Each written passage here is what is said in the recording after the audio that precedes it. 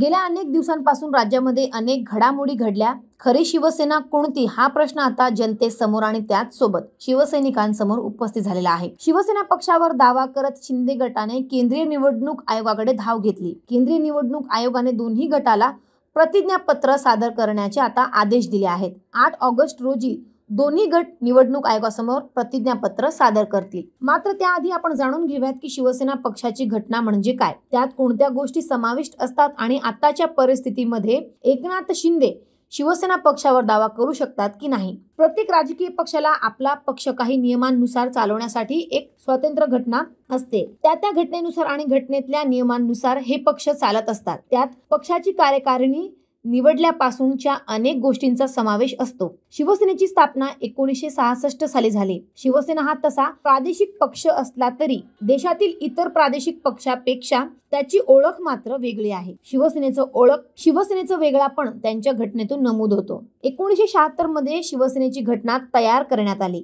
या घटनेत सर्वोच्च पद हे शिवसेना प्रमुख यांच्याकडेच राहील असं जाहीर करण्यात आलं. तेरा सभासदांची कार्यकारिणी ठरवण्यात आली. शिवसेनेच्या घटनेत शिवसेना प्रमुखांपासून ते शाखा प्रमुखांपर्यंत अशी एकूण तेरा पदे नमूद केलेली आहे.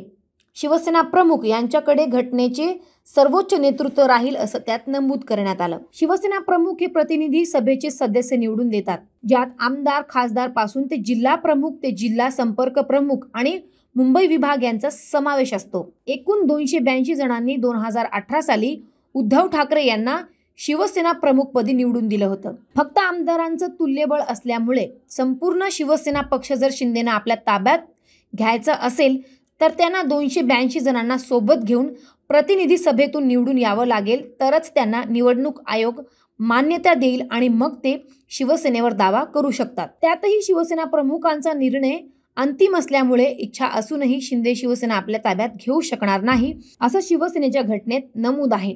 आता पाहूयात की शिंदे यांच्याकडे नगरसेवक आणि त्याचसोबत आमदार तसेच खासदार किती आहेत? शिवसेनेच्या एकूण पंचावन्न आमदारांपैकी चाळीस आमदार शिंदे गटात आहे शिवसेनेचे लोकसभेत अठरा खासदार आहेत. त्यापैकी बारा खासदारांनी शिंदेंना पाठिंबा जाहीर केला आहे.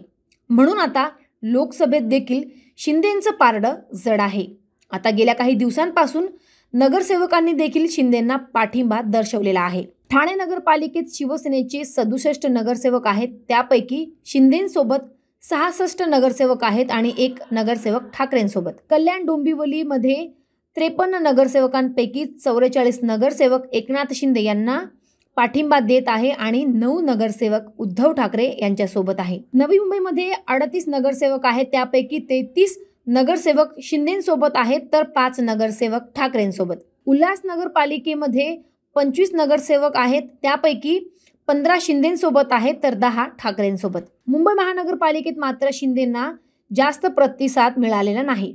मुंबई महानगरपालिकेत दोनशे सव्वीस नगरसेवक आहेत. त्यापैकी शिंदेंना मात्र एकच नगरसेवक फोडण्यात यश मिळालेलं आहे. आमदार खासदारांची संख्या जर पाहिली तर शिंदेची बाजू उद्धव ठाकरे यांच्यापेक्षा जास्त जड आहे. मात्र शिंदेना जर पक्षावर दावा करायचा असेल तर शिंदेना तालुका प्रमुख शहर प्रमुख शाखा प्रमुख नेते प्रवक्ते आणि जिल्हा प्रमुख इथेही शिंदेना फूट सिद्ध करावी लागणार आहे. शिंदेना जर शिवसेनेवर दावा करायचा असेल तर त्यांना विधिमंडळ आणि घटनात्मक या दोन्हीत फूट सिद्ध करावी लागणार आहे. संपूर्ण राज्याचं लक्ष आता या प्रकरणावर लागलेलं आहे. आठ ऑगस्ट रोजी नेमकं काय होणार? हे पाहणं आता महत्त्वाचंच ठरणार आहे. याबाबतच्या सर्व अपडेट्स जाणून घेण्यासाठी पाहत रहा एच डब्ल्यू मराठी. धन्यवाद.